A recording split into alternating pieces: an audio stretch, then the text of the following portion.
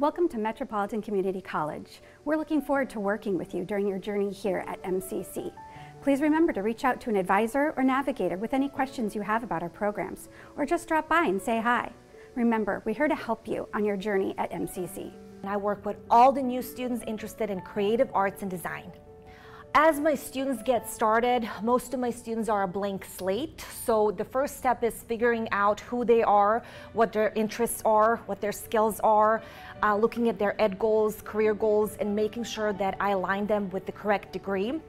The sooner our students can get started with their portfolio, the better. Every degree is unique and different, so they'll have clear guidelines on when they can start working on their portfolio. But it is important to keep track of your assignments and all the amazing projects you've worked on and stay organized.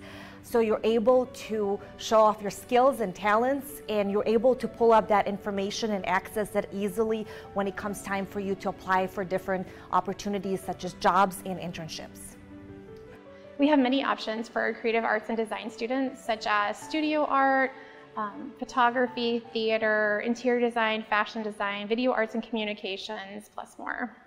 It's so important to have a portfolio, and this actually starts on day one when you become here as a student. We will help you build your portfolio so that you can show potential employers your strengths, your abilities, so that you can get the job you're trying to get. Students in the Video Audio Communication Arts program are going to learn how to write, they're going to learn how to use cameras, they're going to use how to learn how to tell visual stories, um, they're going to learn how to record good audio, they're going to learn how to do graphics, motion graphics, uh, anything to do with media production.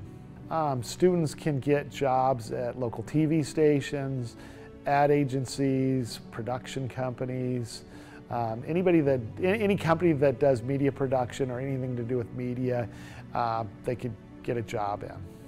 Interior design and fashion design both will end up with an associate's degree.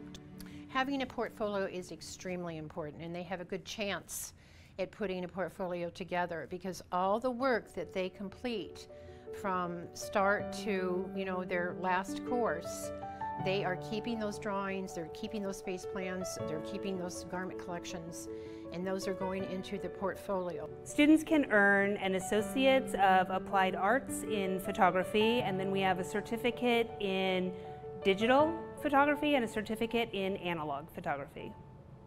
We do have internships. We have um, cooperation with several local businesses and organizations that we pair students with for internships.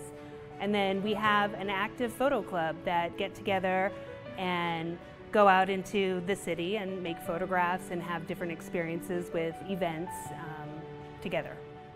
Thanks for watching. We hope you found an interest in one of our programs.